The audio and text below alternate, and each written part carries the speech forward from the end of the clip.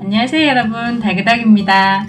오늘은 저희가 쉬는 날이어서 경북 안동으로 임장을 다녀왔습니다.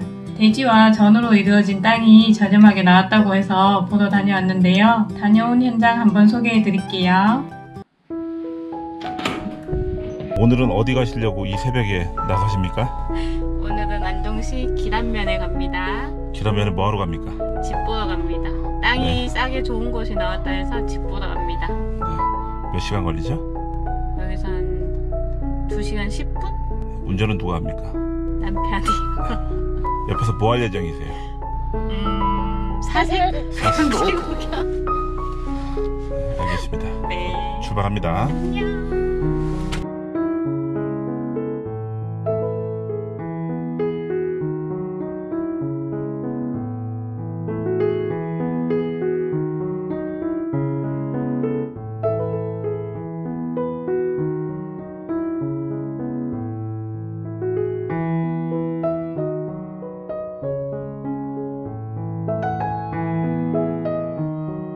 그러면서 이런저런 얘기도 좀 해주고 그래, 그래. 음, 오빠 말하는 거 오빠도 좋아하잖아. Q&A 이런 거지. 귀에서 피나게 해주면 안 오겠지 다음부터.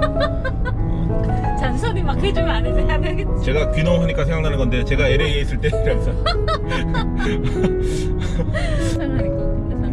박찬호 빌런 돼갖고 이제 아니 근데 주변에 밥만 있는 것보다 확실히 요새는 인내가 나오냐. 교차로에서 주변에 밥 많잖아 오빠. 남청주환시 가수 많고. 그러면 전략이 찌들었대 땅들이. 다. 약, 약 불어대고 어, 뭘 해도 안 된대. 아니 우리가 어쨌든 농사 쪽에 내가 집중할 건 아니잖아 어. 상관은 없는데 그건 없는데 그래도 네. 오해가 없는 게 나. 우리가 사는 데까지 농약이 날라오니까 문제인 거지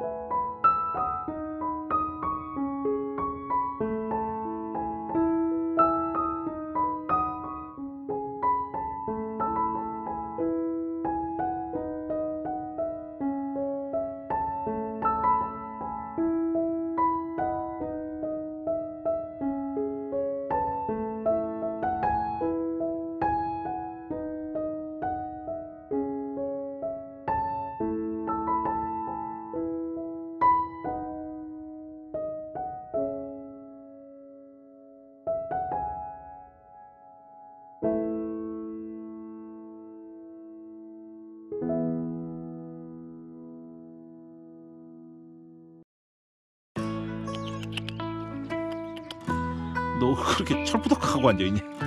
약간 어? 좀 절망스러운 자세로 앉아 있어. 일로 와. 나가. 어인들 땅이 고픈데. 올듯 말듯 나는데. 일로 와. 일로 와. 야 뭐야 오든가.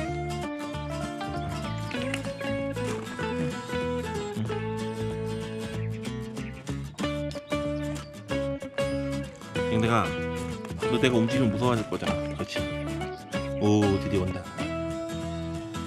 응? 댕댕아 응? 이 비를 맞았어 응?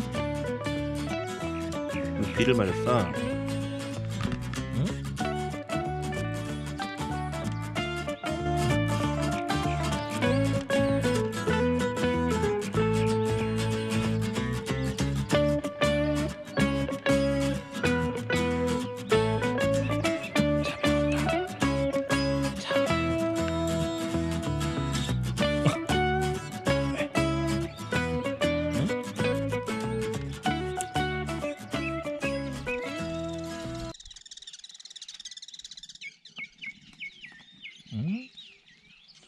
댕댕아.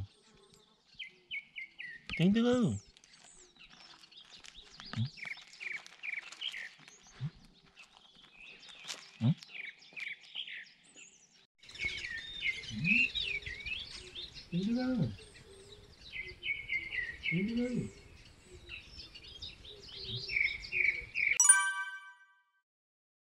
안동시 길안면에 2,000평 정도 되는 땅을 보고 왔는데요. 가격은 생각보다 저렴했어요. 저렴해서 저희와 맞다고 생각했는데 막상 현장에 가보니까 경사가 생각보다 조금 높더라고요.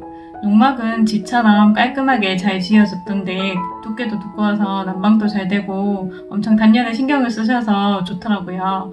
그리고 저온 창고도 있고 땅도 넓고 다 좋았어요. 다 좋았는데 경사가 생각보다 높다는 거. 그리고 제일 문제가 거기 땅이 있는 위치가 저희 부부는 기농을 해도 저는 밖으로 일을 다닐 거고요. 남편이 집에서 재택근무를 하면서 농사도 짓고 이렇게 하려고 들어갈 계획을 잡았는데 거기는 산을 두 번을 지나가야 돼요. 한 꼬불꼬불하게 20분 정도 들어가는 산이거든요. 여러분 운전하시는 분들은 대부분 아실 테지만 산길 20분이 평평한 도로 20분이랑은 또 틀려요. 시간이 더 걸릴 수도 있거든요. 비 올 때도 조심해야 되고 눈 올 때나 아니면 겨울에 얼음 얼었을 때 그때는 산길이 진짜 위험하기도 하고 오래 걸리기도 하다는 거 다 아시잖아요. 그래서 조금 신중히 생각해야 될 것 같더라고요. 거기는 가격이 아무리 저렴하게 나왔다고 해도 덥석 짚는 게 아니고 운전해야 되는 것도 생각해야 되고 그리고 출퇴근 거리가 저희가 지금 보고 다니는 곳 중에서 제일 멀어요. 그래서 제일 배제해야 될 곳 중에 하나인 것 같아요. 지금은.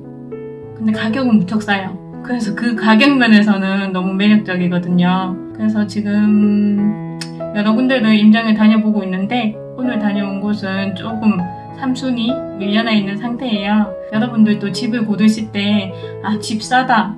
집 싸고 땅 넓은데 출퇴근은 뭐 내가 감수해야지? 이러실 분들은 뭐 그런 조건들을 맞춰서 사셔도 되겠지만 저는 출퇴근도 무시 못하거든요. 그래서 오늘 보고 온 곳은 조금 덥석 사기에는 무리가 있어 보였어요. 좋은 집 찾는 게 이렇게 힘드네요.